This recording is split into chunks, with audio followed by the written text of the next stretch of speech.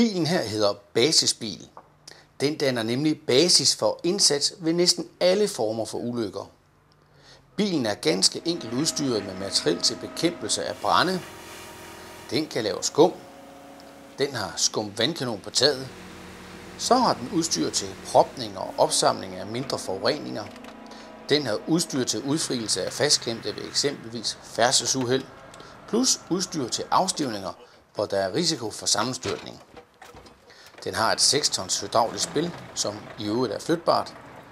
Og så er den udstyret med vanddyser hele vejen rundt om bilen, hvilket gør det muligt at køre gennem gløder og små flammer. Bilen har en 13 kW generator, så der kan lave strøm til diverse elinstallationer og naturligvis til lyset her.